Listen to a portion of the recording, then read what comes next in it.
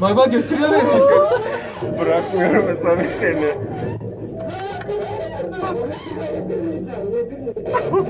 Yedirmeyeceğim. Gidiyorum diye söyleyeceğim. Işık yanmıyor diyoruz.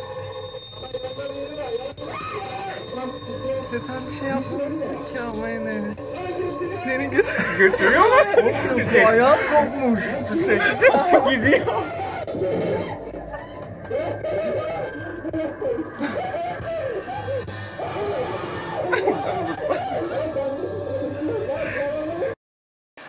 Herkese merhaba, kanalıma hoş geldiniz. Bu videoda korku evleri hakkında sizlere bilgiler vereceğim. Henüz gitmemiş olanlar, merak edenler için. Ve benim yaşadığım anıları sizlere anlatacağım ve birlikte izleyeceğiz. Neler oldu, neler yaşandı falan diye. Merak ediyorsanız izlemeye devam edin. Kısaca doğuşundan bahsetmem gerekirse Japonya'dan ülkemize geldi. Japonya'da başlamış bu ve gençler arasında oynanan yeni bir oyun. Nasıl oluyor? Ee, böyle evler, daireler var. Onları oyun alanına çeviriyorlar bu oranın sahipleri ve içeride bir sürü bulmaca oluyor. Temaları hepsinin birbirinden farklı. Ee, tabii ki de korku istemiyorsanız normal labirent oyunları da var. Şifreleri falan çözmeye çalışıyorsunuz ama bence en eğlencelisi korku evleri. Çünkü gerçekten onu hissediyorsunuz, korkuyorsunuz. Benim arkadaşlarımla gittiğim ilk yer e, Kadıköy'de e, bir yerdi. Böyle iş hanı gibi bir yerdi.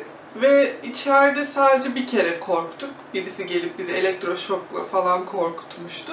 Ama oyunun genelinde işte puzzle'lar, bulmacalar, bütün bu ipuçlarını toplayarak oradan kurtulmaya çalışmak vardı ve biz gerçekten beynimizi bayağı zorlamıştık ve bayağı eğlenmiştik. Ve çıktığımızda benim başım ağrımıştı hani bir şeyleri düşünmekten. Gerçekten de zorlayıcıydı. Daha sonra hep korku evlerine gitme kararı verdik ve hep böyle değişik bir şeyler aradık. Böyle şeyler genelde e, internet siteleri oluyor. Ve internet sitelerinde her türlü bilgi mevcut ve zaten rezervasyonu da oradan yapıyorsunuz. Hikayesini biz pek önemsemedik çünkü çoğu zaten yalan. E, her ne kadar işte yaşanmış bir olay falan dense de bayağı bir fantastik yani. E, bir yerin e, kalitesini anlamak gerçekten çok zor. Şunu da söyleyeyim.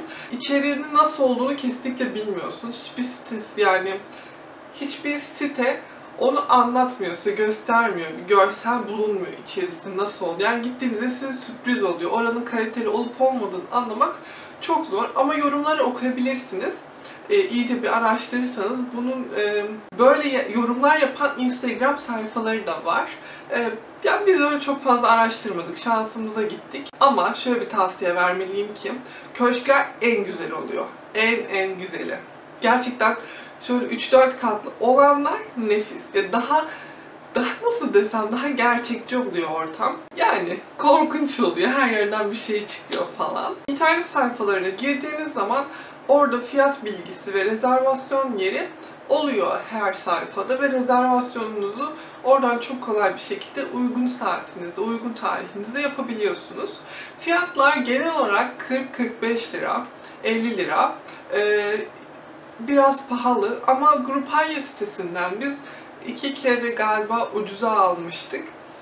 Çok çok düşük mevlalarda. Siz de öyle araştırma yaparsanız indirimli yerlerden alabilirsiniz. Ee, ama bence paranıza hiç acımayın. Gerçekten çok çok güzel bir deneyim oluyor. Zaten bilmek istediğiniz bütün bilgiler sayfalarda yazıyor. İşte kurallar falan filan.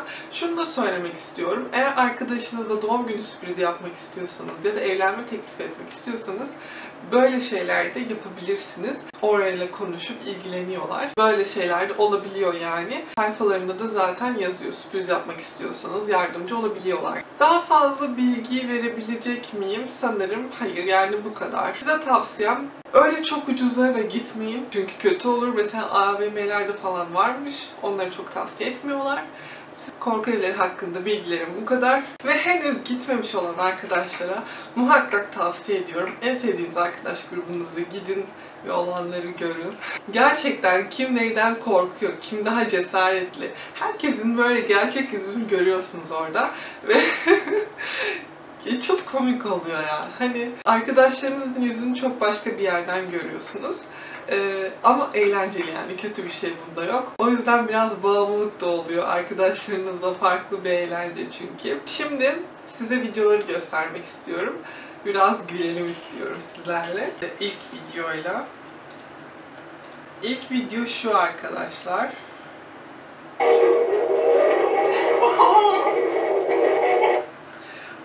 Videoda e, oranın e, yani nasıl desem kural vericisi başka bir şey deniyordu ama e, kural veren kişi sesli olarak hepimizi yukarı çıkmayı yani yukarı çıkmamızı söylüyor ve bir tek arkadaşınız kalsın diyor. O da Samet. Ee, Samet karanlık bir odada yalnız bırakıyoruz ve başına gelenleri izliyoruz. Biz bu videoyu e, akşam e, bir şey unuttuğumuz için tekrar gidip almıştık ve işte bize anlatıyordu böyle böyle oldu diye. Hani ben bu kadar komik bir şey olduğunu hiç beklemiyordum. İzleyelim.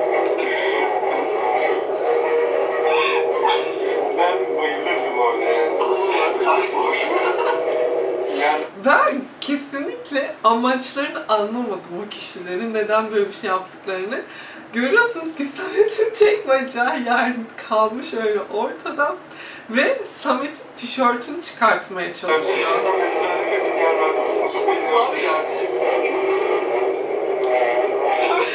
Can çekişiyor çocuk orada. İnanabiliyor musunuz böyle bir şey olduğuna? Böyle tişörtünü çıkartmaya çalışıyor ve Samet onunla boğuşuyor. Ee, böyle şakalaşmalar falan olmuştu öncesinde. Ee, pek böyle ciddiye almama gibi falan. Yani bizim tarafımızca. Ee, onlar da böyle bir şey yapmışlar. Diğer videoya geçelim. Ee, Baya yani arkadaşlarım uğraştılar onu demek istiyorum size.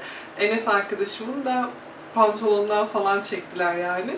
Bayağı komediydi ve biz hiçbir yerde böyle bir şey görmedik. Birçok korku evine gittik. Bu korku evini kesinlikle size tavsiye ediyorum. Eğer bulabilirsem adını linkini koyacağım muhakkak gidin. Ee, gerçekten çok kafa adamlar. Diğer videoyu izliyoruz.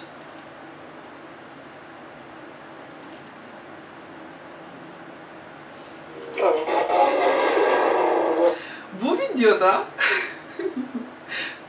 ya oda kapkaranlık bir yatak var ve arkamızda da işte o korkunç maskeli adam. Benim halime bakın.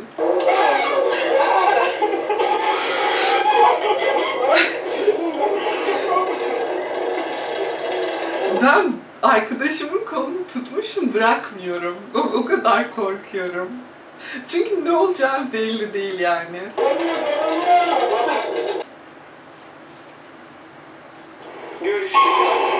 Arkadaşlar bu videoda bu video yani benim arkadaşlığımı sorgulamam gereken bir video. Neden diyecek olursanız. Size dedim ya hani arkadaşlarınızın gerçek yüzlerini görüyorsunuz falan diye. Aynen bu oldu. Şu an şaka yapıyorum. Ee, alınmasınlar. Ee, burada tek kız benim oyunda. Ve böyle bir şeyin yani küçük bir kapının ardından geçmemiz gerekiyor. Ve onlar önden gitti. Ben sevmem zaten önden gitmeyi. Korkarım ne olacağı belli olmaz ama arkada kaldım bir şekilde. Ve bu maskeli adam beni sıkıştırdı bir köşede ve bakın sonra ne oldu?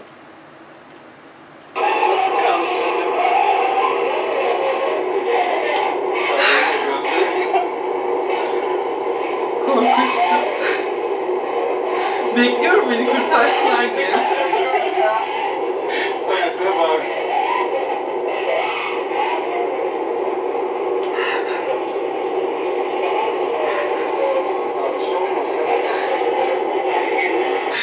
Elinden kopuyorum.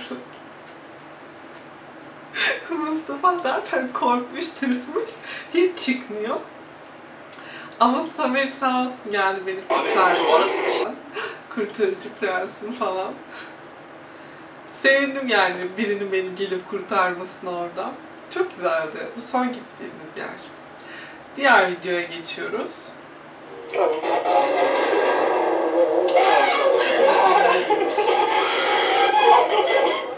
E, çığlıklar falan dehşet yani. Ben normal hayatta bu kadar çığlık atamıyorum bile. İstesem atamam. Ama orada ister istemez oluyor. Ha bu da ne?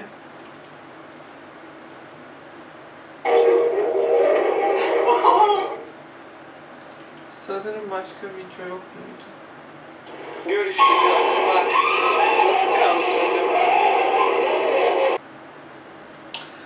Öyle. Videolarda böyle arkadaşlar. Gerçekten olay, olay ya. Ee, size ne kadar yansıdı bilmiyorum ama biz gerçekten içeride çok çok eğlenmiştik. Her videoyu ararken hemen size şunu anlatmak istiyorum.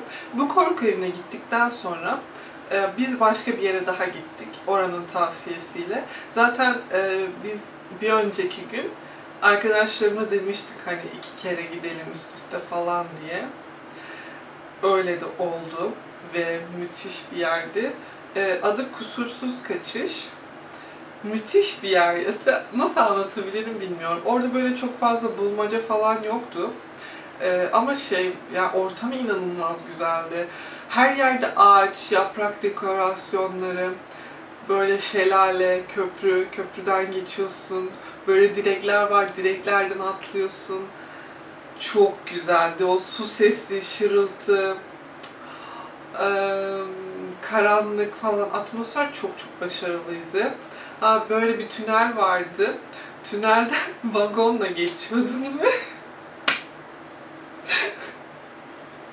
geçesiye kadar zaten. Yani komik olan şey, ayağımı sana suya battı. Beni taşımadı falan sandım, ray takıldı falan. Bayağı komikti yani arkadaşlar. Orayı da tavsiye ediyorum. Ee, böyle anıları ben gerçekten çok özlüyorum ya. Çok çok çok çok güzel, eğlenceliydi. Dediğim gibi videoları izlediniz. Çok eğlenceli bir şey. Muhakkak gidin tavsiye ediyorum. Evet arkadaşlar benim videom bu kadar. Umarım izlerken eğlenmişsinizdir. Sormak istediğiniz bir şey varsa aşağıda yorumları sorabilirsiniz. Yeni bir videoda görüşmek üzere. Bu arada videoyu beğendiyseniz like tuşuna basmayı unutmayın lütfen. Yeni videoda görüşmek üzere. Hoşçakalın.